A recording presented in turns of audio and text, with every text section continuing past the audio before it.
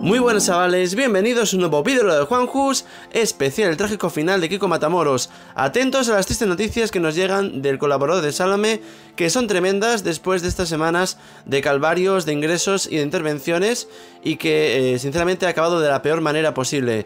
Antes de dar la noticia, eh, recordad que si queréis seguirme en redes sociales, lo podéis hacer en Instagram, en Juanjo82 y en Twitter a través de Juanjo Balabaja Menéndez. Y que también tenéis la comunidad de YouTube de este canal de Cadena Juanjo Blog para decir lo que queráis, donde estamos todos aportando nuestro granito de arena a modo de diario para entretenernos y darnos apoyo en estos difíciles meses que estamos viviendo todos, ¿no?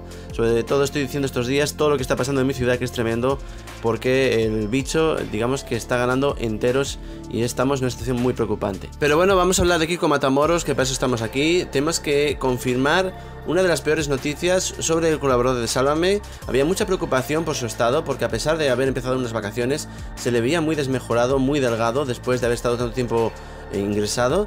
Y ahora acaba de confirmar que tiene que pasar otra vez por una intervención, que tiene que ser intervenido eh, para paliar eh, una fuga que tiene de bilis y que dice que es una consecuencia de haberse quitado eh, la vesícula y de esa pancreatitis que también eh, ocurrió hace unas semanas, ¿no?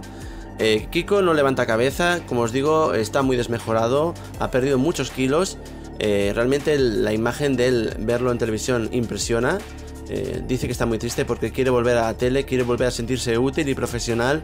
Y sobre todo quiere decir que desde la lejanía del plató Mm, hay cosas que no le están gustando y le gustaría estar ahí defendiéndose, ¿no? Además, eh, también ha anunciado que va a demandar a Laura Fa, ya sabéis que no se lleva muy bien con ella. Y es gracioso porque últimamente parece que los colaboradores se demandan entre sí, ¿no? No sé hasta qué punto es todo mentira o verdad, pero últimamente no paran de anunciarse cada dos días una denuncia entre gente que trabaja en el programa Salame.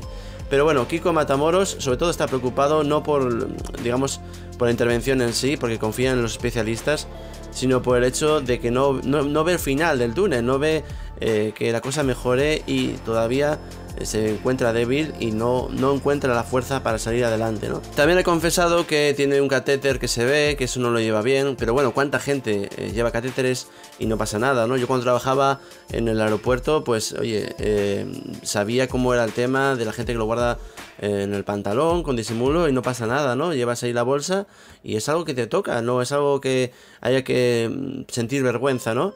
Pero bueno, una persona como Kiko Matamoros, que ya sabéis cómo es con la estética y demás, pues es algo que nos supera. Y yo creo que parte de esa depresión que parece que, se le nota es por esto, por la cosa de quitarse las bolsas, los catéteres y demás, ¿no?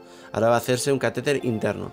Comentar, opinar qué os parece todo esto, darle like al vídeo, suscribirse para más noticias y nos vemos en un próximo videolog. ¡Chao! Si te ha gustado este vídeo, dale a like y suscríbete con campana para más noticias. Y si quieres conocerme, visita también mis vídeos diarios. Tienes cadena Juanjo Blog para más información de la forma más amena. ¡Nos vemos!